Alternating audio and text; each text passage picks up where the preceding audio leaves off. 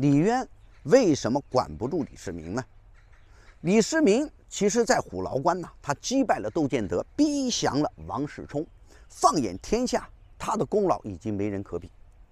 所以李渊呢，就给了他一个前无古人的官衔，叫做天策上将。作为父亲啊，李渊能有这么一个天纵神勇的儿子，应该是很骄傲的。但是作为皇帝呢，他的心里啊。也是很有隐忧，毕竟李世民功劳太大呀。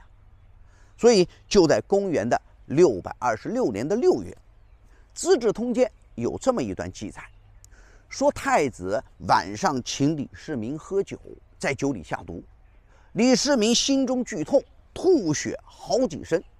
这个事情就惊动了李渊。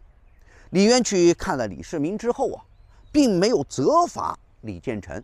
也就是轻描淡写的说，亲王酒量不好，以后不准晚上请他喝酒。吐血好几声这个事情呢，真假不知道，但是正史上啊，确实就是这么写的。李渊他也知道两个儿子啊是针锋相对，势同水火，那怎么办呢？毕竟手心手背都是肉啊，于是他想出了一个馊主意，他把李世民招进宫。跟他讲了一个西汉梁孝王的故事。梁王刘武啊，他是汉景帝的亲弟弟，太后呢也非常的偏爱他。而且呢，汉景帝有一次喝多了，跟弟弟刘武说：“等我百年之后，我把皇位传给你，可好啊？”你看，这是不是很像李渊承诺李世民的样子啊？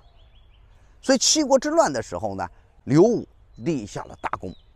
李渊跟李世民说这个故事是什么意思呢？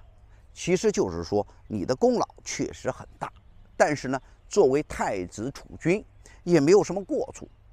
我不忍呐削去他的权利，但是我看你们两个人真的非常的厉害，总不能骨肉相残呐。干脆你到洛阳去，效仿西汉的梁孝王，我给你设天子旌旗。其实啊。这就等于是把大唐王朝一分为二了。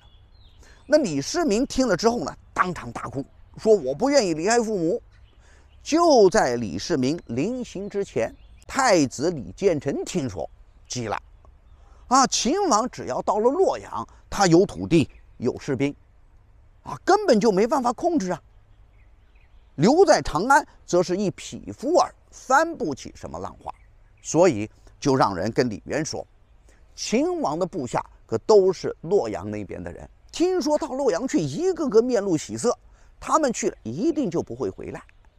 李元吉呢，说的就更加的直白，说秦王打下洛阳，为什么迟迟不回啊？而且到处的去邀买人心，啊，不及还京，分散钱帛，以树私会，唯利如此，岂非反道？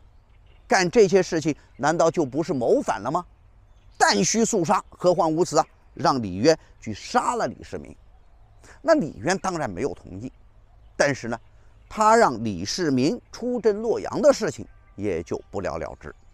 不过，真要是这么干呢，麻烦可就真大了。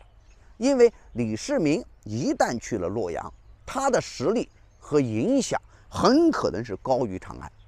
因为李世民呢，是我们中国历史上很特殊的一位皇子。历朝历代中，没有哪一个皇子在新朝建立的时候立下这么大的功勋，掌握这么大的权力。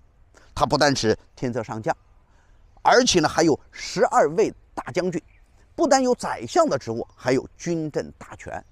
那怎么样才能够削除李世民的权力？而李世民又是如何反击呢？关注我，下期玄武门之变。